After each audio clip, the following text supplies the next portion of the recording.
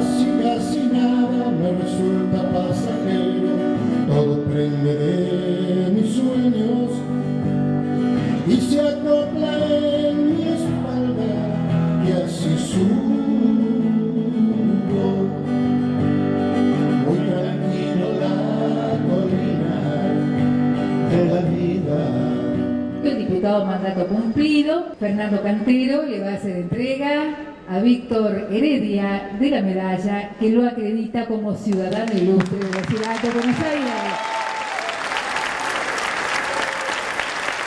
Y ahora, no solamente en nombre de los legisladores y legisladoras de la ciudad de Buenos Aires, sino en nombre de todo el pueblo de la ciudad de Buenos Aires, el diputado Aníbal Ibarra le hace entrega a Víctor Heredia del diploma que lo acredita también como ciudadano ilustre de la ciudad de Buenos Aires, cumpliendo lo que marca la ley 3272.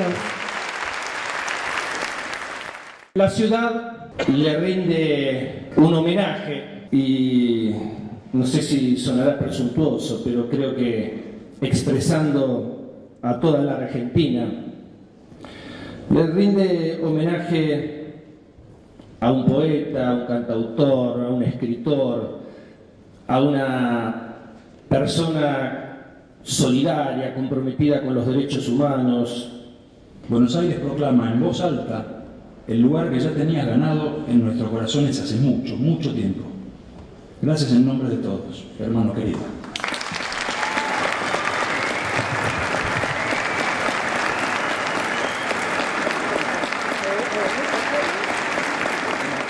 Creo que si me he sostenido en la vida y en el escenario, ha sido por la compañía de hombres y mujeres inigualables que me apoyaron, que reconocieron en mí alguna cosa que les diera esperanza o confianza y me sugirieron desde sus voces que tenía que decir esto que dije en mis canciones, en mi obra. Les agradezco infinitamente este nuevo gesto de amor que me han regalado y los considero también, muchos de ustedes ya lo son, otros seguramente lo serán en el futuro, parte de esta distinción que acabo de recibir. Y a todos mis amigos, los de afuera, los que me saludan permanentemente desde, desde los colectivos, desde los taxis,